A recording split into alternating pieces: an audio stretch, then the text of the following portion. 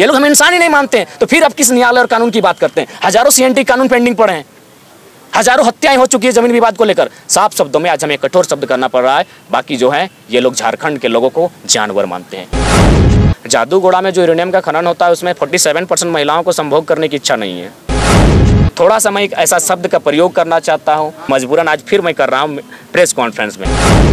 यही मध्य प्रदेश सिंगरौली में लोग बाकायदा घर बना कर देते हैं। या घर तोड़ते हैं। तो इसलिए तो हमने कहा जानवर हैं। देखिए हम लोग को राजनीति करने का आज भी इंटरेस्ट नहीं। कैसे हम लोग राजनीति कर पाएँगे? ये बार बार सवाल आता है राजनीति राजनीति हम लोग कैसे करेंगे? और जल्दबाजी में तुरंत पार्टी का निर्माण करने लगे एक बार कम से कम हम लोग से बैठ तो लेते हैं समझ तो लेते हैं क्योंकि ये नए चेहरे हैं नए लोग हैं नई पीढ़ी है नया उमंग है। इनके साथ किस प्रकार चलना है इस पर चर्चा करना चाहिए था। कैप्टन आप बनना चाहते हैं? नहीं कैप्टन कोई और बने हम खेलना चाहते हैं। राजधानी रांची में लोकतंत्र के चौथे स्तंभ तमाम मीडिया बंधु बहनियों का हार्दिक अभिनंदन स्वागत करते हैं।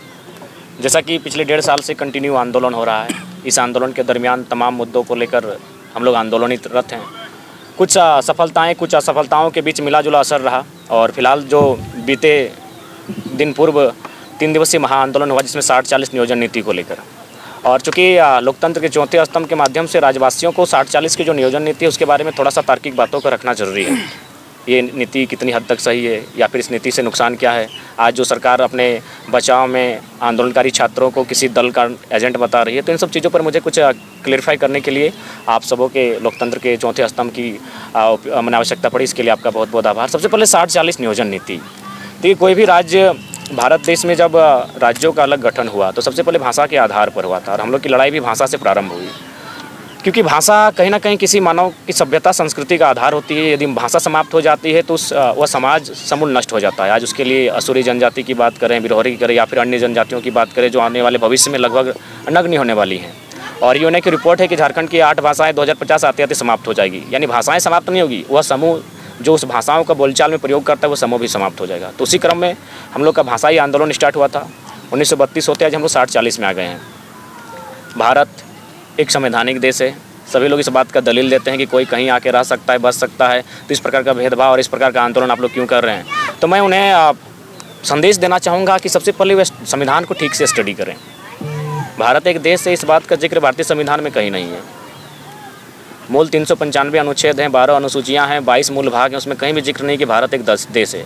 भारतीय संविधान अनुच्छेद एक में स्पष्ट है कि भारत राज्यों का संघ, भारत अर्थात इंडिया राज्यों का संघ यानी बिना राज्य की परिकल्पना किए हुए, बिना राज्य को में आप देश की कल्पना नहीं कर सकते हैं। यानी अगर आप भारत के बारे में सोचते हैं तो आपको राज्यों के बारे में सोचना होगा, यही भारत का संविधान कहता है।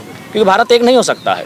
लॉजिकली आप भावनाओं में एक कर सकते हैं। राष्ट्रवाद के नाम पे एक होने का चोला उड़ा सकते हैं। लेकिन लॉजिकली बात करेंगे तो भारत एक कभी नहीं हो सकता है। भाषा एक नहीं है, परंपराएँ एक नहीं है, पढ़ने का तरीका एक नहीं है, खाने का तरीका एक नहीं है, गीत संगीत एक नहीं है। अरे उतना तो छोड़िए, जाति धर्म तो छोड़ देते हैं, भगवान एक नहीं है। यानी भारत अलग अलग भारत को एक कैसे किया जा सकता है? सबको उन्नति का समान अवसर देके। सबको आप जब तक उन्नति का समान अवसर नहीं देंगे, भारत एक नहीं हो सकता, ना भारत खुशहाल हो सकता है। तो जब अन्य राज्य के लोग अपने क्षेत्रता के आधार पर आंदोलन करते हैं तो सब जायज़ होता है। उन्नीस सौ तिरपन में जब तमिलनाडु से कटकर तेलंगाना का आंध्र प्रदेश का तेलुगु भाषी के लिए जब निर्माण हुआ तो कोई विशेष विवाद नहीं हुआ। ना पूरे देश ने इस बात को कहने का, मैंने बात बात रखा कि भाई, ये देश को तोड़ने की बात है। बॉम्बे, महाराष्ट्र और गुजरात दो हिस्सों में टूटा तब। किसी ने कोई बयान नहीं दिया। अन्य राज्य भी अलग हुए हैं, लेकिन कोई विवाद नहीं हुआ। अन्य राज्यों ने अपने लिए कानून बनाए, तब कोई विवाद नहीं हुआ। लेकिन झारखंड के लोग जब अपने अधिकार की मांग करते हैं तो ये विवाद क्यों आता है कि पूरा भारत एक है, पूरे भारत का जिम्मा मतलब भारत, झारखंड के लोग लेके रखें? चाहे यहाँ की नियोजन नीति हो, चाहे यहाँ का स्थान नीति हो, पूरे भारत को ठिका लेके रखें हम लोग। साठ चालीस समझ रहे हैं आप क्या होगा? चालीस परसेंट सीटें नौकरियाँ सीधे बेची जाएँगी। आज यहीं बगल में आपका यू जी हॉस्टल है। कितने सपनों के साथ आँखों में सपने लेकर छात्र तैयारी कर रहे हैं। सब मिडिल क्लास फैमिली से हैं। खेती बाड़ी करते हैं इनके परिवार। माँ जेवर गिरवी गिरवी रख कर भेजी है तो पिताजी घरों के पशु को गिरवी रखकर यहाँ तक भेजते हैं। और इस कंडीशन में आप साठ, चालीस की बात करते हैं, चालीस परसेंट सीधे बाहर को बेच रहे हैं। और जब आप, हम लोग आंदोलन करते हैं तो आप संविधान की बात करते हैं। नहीं, देखिए, हम लोग ये, देखिए, हम लोग चाहते हैं कि कम से कम आप, जो आप कह रहे हैं कि टेम्प्रोरी है तो टेम्प्रोरी भी किस प्रकार का होगा? टेम्प्रोरी भी है तो ठीक है तो क्या इसका मतलब टेम्प्रोरी इसका मतलब सारी बहालियों को बांट देंगे क्या? उसमें आप जो लोकेलिटी का सामने मैंने बैरियर को डिलीट कर चुके हैं। लोकल भाषा के बारे में चर्चा नहीं होगी, लोकल, लोक मैंने संस्कृति के बारे में चर्चा नहीं होगी, सीधे आप इंग्लिश को लोकल लैंग्वेज बना दीजिए। क्या ये आधार हो सकता है टेम्प्रोरी बहाली में? क्या इसके माध्यम से आप रोक सकते हैं? आप जिला वाइज सर्वे करते हैं। जिला वाइज कौन सी भाषाएँ हैं? उसके आधार पर आप जी एस जी के का पेपर सेट करते हैं। ये तो आप कर सकते हैं। ये तो संविधान का हनन नहीं होगा।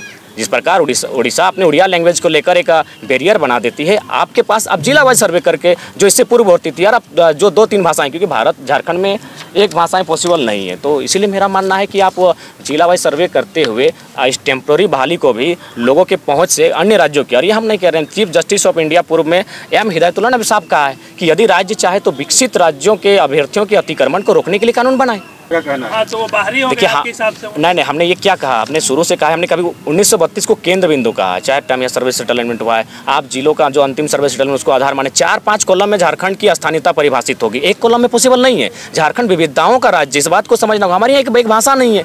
बंगाल के तर्ज पर हमारी एक भाषा होती तो विवाद ही समाप्त हो जाता। उड़ीसा के तर्ज पर हमारी उड़िया भाषा तो विवाद ही नहीं होता। तो झारखंड में थोड़ा टाइम भी लगेगा। तो आप तीन साल लिए।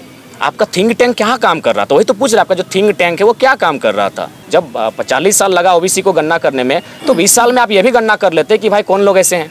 क्योंकि झारखंड बड़े दिल वालों का राज्य है। उसके बाद सरकार सोचती। हमने तो हमेशा ऐसी बातें कही हैं, जिससे किसी का नुकसान ना हो, ना कि कोई अराजकता फैले।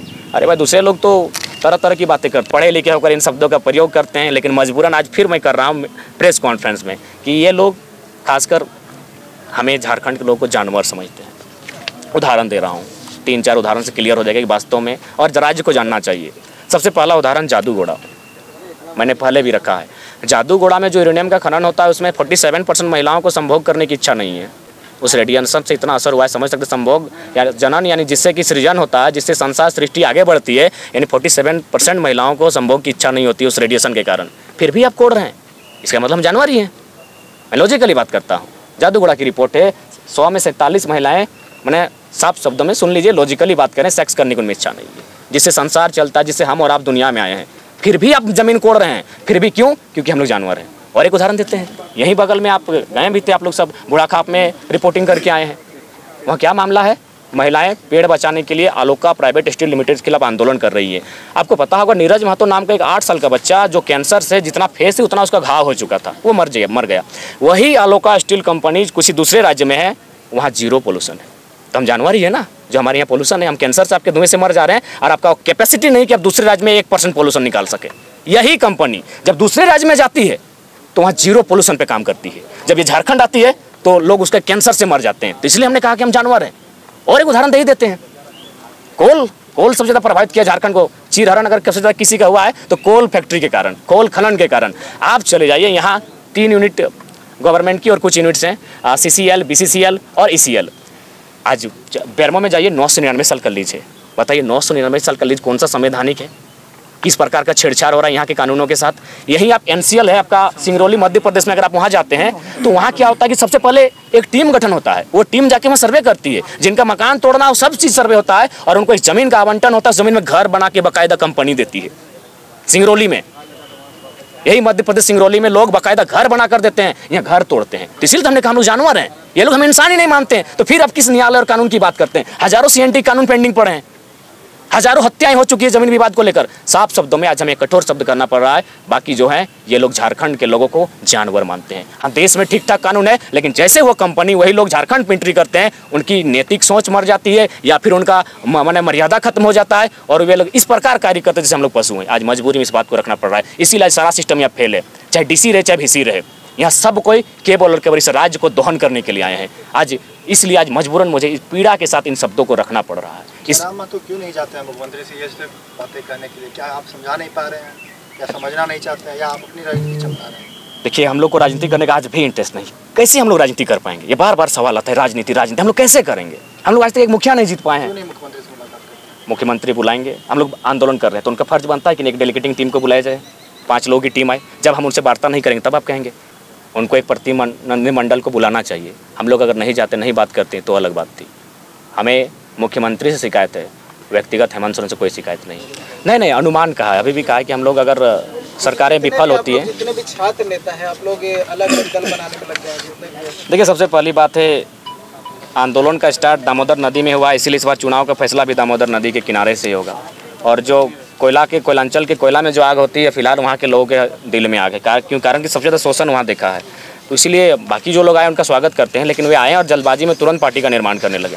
एक बार कम से कम हम लोग से बैठ तो लेते हैं समझ तो लेते हैं, क्योंकि ये नए चेहरे हैं, नए लोग हैं, नई पीढ़ी है, नया उमंग है। इनके साथ किस प्रकार चलना है, इस पर चर्चा करना चाहिए था। किसकी बात तमाम लोगों की जो हमारे साथ आए सभी लोग आए और सब अचानक तुरंत आके दो दिन में अलग पार्टी का निर्माण करने लगे अलग अलग बात करने लगे। सभी की बात नाम व्यक्तिगत किसी क्यों ले इस वो एक अनुभवी हैं झारखंड आंदोलनकारी हैं राइट राइटर फाइटर दोनों हैं लेकिन यही कहना चाहेंगे सबका एक टाइम और पीरियड होता है। आपने एक बड़ी बात कही है। कुछ दिन पूर्व आपने एक बाइट दिया है अपने क्षेत्र में। जी हम उस बाइट को दोहरा देते हैं। जी। हमने कहा है कि उनका समय उन्नीस सौ पचासी का था जब वो बैट लेके लंबे लंबे छक्के लगा सकते थे उनका सम्मान करते हैं। अब 2023 आया है अब शुभमन गिल सूर्य कुमार यादव यशस्वी जायसवाल इन खिलाड़ियों का समय है तो इनको आशीर्वाद दें इनको गाइडलाइन करें कि कहाँ निकलना है। हम तो कहते हैं अगर ज़रूरत पड़े कान भी खींचिए ज़रूरत पड़ते कंधे पे हाथ रख के शाबाशी दीजिए सब कीजिए जो एक कोच का रोल होता है गाली दीजिए लेकिन बल्ला उन्हीं को दीजिए जिनका समय है। उन्होंने तो कहा था कि मतलब कैप्टन आप बनना चाहते हैं। नहीं कैप्टन कोई और बने हम खेलना चाहते हैं। नहीं नहीं ये तो आपने क्लियर कर कर दिया है कि 24 में आखिरी रास्ता हमारे पास वही है। हाँ रास्ता वही है। चुनाव में हम लोग जाएँगे? बिल्कुल जाएँगे। पार्टी घोषणा कब तक कर रहे हैं? अठारह उन्नीस या बीस? अठारह को जो सम, सम, हमने हाँ हाँ सम्मेलन हो रहा है उस दिन कुछ चर्चाएँ होंगी इस विषय तो आज की खबर में बस इतना ही। बने रहे एसएमपी न्यूज़ के साथ अपना ख्याल रखें क्योंकि आपसे हम आप है हमारी ताकत। लेटेस्ट अपडेट के लिए हमारे फेसबुक पेज को फॉलो और लाइक ज़रूर करें तो वहीं विस्तृत खबरों के लिए हमारे यूट्यूब चैनल को सब्सक्राइब ज़रूर करें। आप सभी का बहुत बहुत धन्यवाद।